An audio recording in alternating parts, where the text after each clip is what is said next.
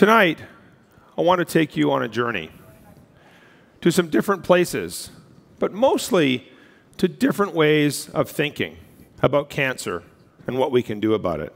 Duke has allowed me to think totally differently about cancer. And tonight, I'd like to teach you to think differently about cancer.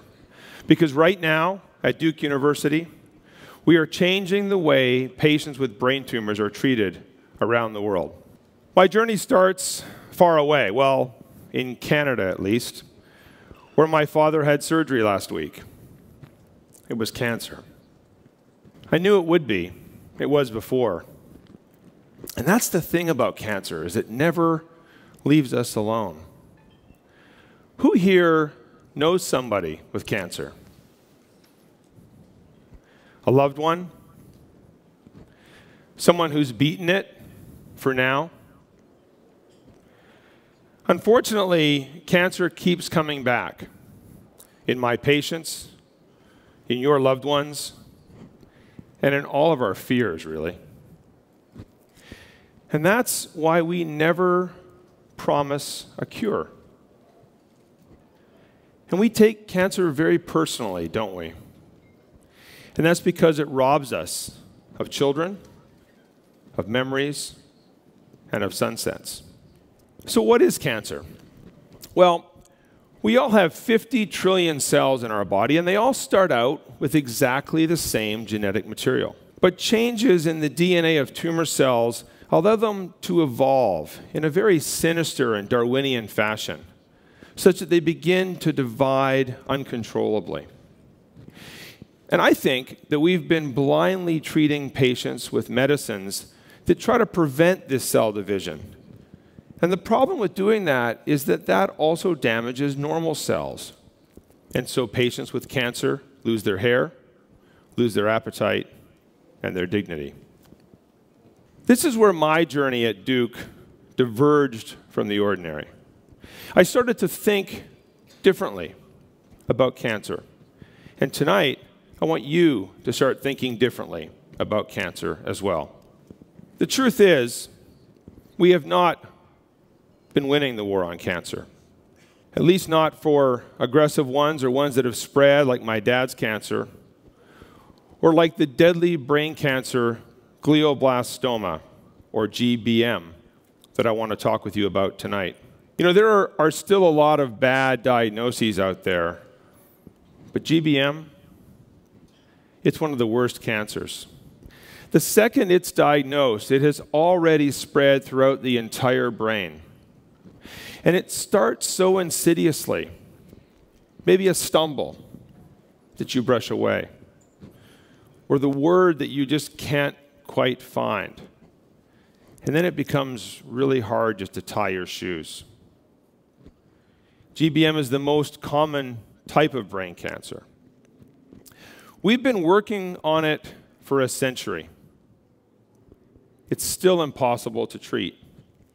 Surgery, radiation, chemotherapy, they just don't work. No one survives. No one. Not even for a year. I wanted to change that. And I knew at Duke, we could change that. This is DNA. It encodes really all the important things in our bodies. And that red finger, that's what turns a cell into a cancer, a deceivingly simple change or mutation in the DNA. But you know what? That change, that mutation, also provides for me a molecular barcode or fingerprint that betrays the cancer cell as somehow different. And I believed that our immune systems just might be able to recognize that difference and attack the cancer cells and kill them with incredible precision. And I began to wonder if we could create a vaccine for cancer. It was a shot in the dark, literally, but nothing else is really working. And Duke recognized that as an opportunity. And it worked.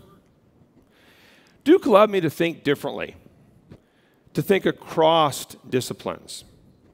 And now, to touch the lives of thousands of patients with brain cancer, their spouses, their partners, their children, and even grandchildren. So, a cancer vaccine developed at Duke, really the first of its kind anywhere, has now been licensed to a large pharmaceutical company, and it's at the FDA waiting for approval. And another approach, a poliovirus. Poliovirus. How scary is that? Is actually being injected into the brains of patients with these deadly tumors, and some of those tumors are simply melting away. So watch the news, because soon everyone will know that Duke has changed the future for patients with brain cancer. So here's what that means. You know, it's personal. My first patient, her name was Amy. She came to see me in 2002. That's more than 10 years ago. She had just won a beauty pageant. She had just gotten married. And she had just gotten a brain tumor. It was malignant. It would kill her in a year. And she told me she wanted to have children. Wow. Well, Amy got the vaccine, and this is her today, along with her husband of more than 16 years, their two children. And she's not, thank you. She's not a brain tumor patient anymore. She's a wife, a mother, and a flight attendant who goes to work every day. How's that for giving someone their life back? And then there's Ryan, an entrepreneur from St. Louis. He too wanted children. Didn't seem too much to ask. He really had everything else. Then a seizure, just like that. Could happen to any of us today. Then an MRI, then a brain tumor, then a bad one, the worst kind, actually, and a big one, too. So Ryan also tried the vaccine. And think about it at the time, he's facing death and he tries something totally new. What courage. Well, this is Ryan today, his wife, and their three children, all of whom he wants to matriculate at Duke, of course. And these aren't the only patients that are doing well. Our vaccine has allowed the immune systems of these patients to eliminate these mutated tumor cells just like that. And now, most of the patients with this deadly disease are alive more than five years after they find out they have a brain tumor. And some, some may even be cured. So back to my dad. Well, you know, this approach could work for all cancers. It could. So my dad got a vaccine right before his surgery as well. It was a shot in the dark, but why not? And he's my dad. Every day at Duke, I get to wonder what's next? How fantastic is that? So, what is next? Well, if we can treat cancers with a safe and simple vaccine, could we use a vaccine to prevent cancer altogether? I mean, think about it. Almost everyone in this room raised their hands earlier, but because of the work going on at Duke right now, I don't think that's going to be the case just a few years from now. We already know the barcode of this enemy, so let's be proactive. Can you imagine a world where it's not people with cancer who want children, like Amy and Ryan who are getting vaccinated,